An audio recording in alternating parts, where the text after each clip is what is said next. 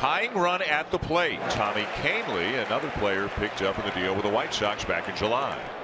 Be a little erratic with his command at times as much as the walk totals are low. Now Mauer sends a fly ball deep to left field. The 0-2.